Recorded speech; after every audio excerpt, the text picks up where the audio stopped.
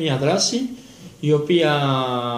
υποστηρίζουμε και στηρίζουμε κάποιους φορείς και έτσι κάποιες συλλογικότητες που έτσι θέλουν να, ε, να κινηθούν αυτή, σε αυτή τη μέρα. Θα πάμε στο χώρο αυτό που είναι απέναντι από, το,